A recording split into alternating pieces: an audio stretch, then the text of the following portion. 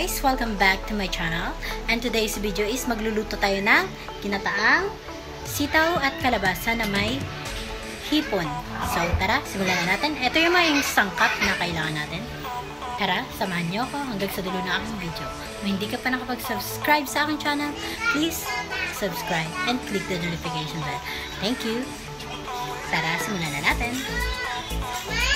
Ito yung mga sangkap. Kailangan natin ng hipon kalabasa, sitaw, sili, sibuyas, bawang, at luya.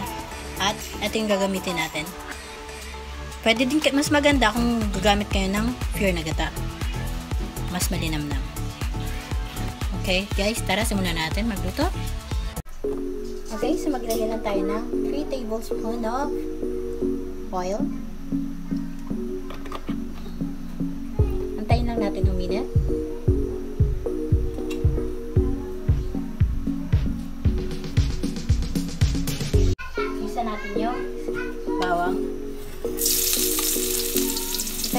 Golden brown.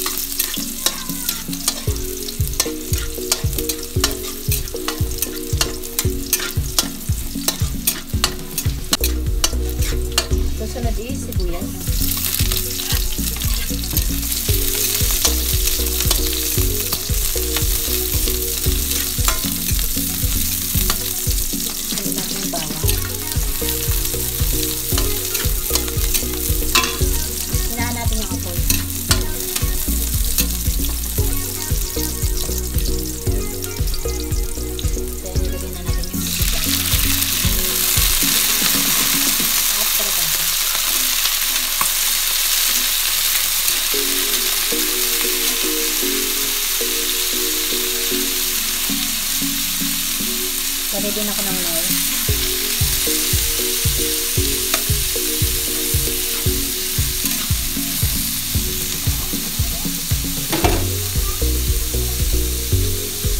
Lagay tayo ng tubig.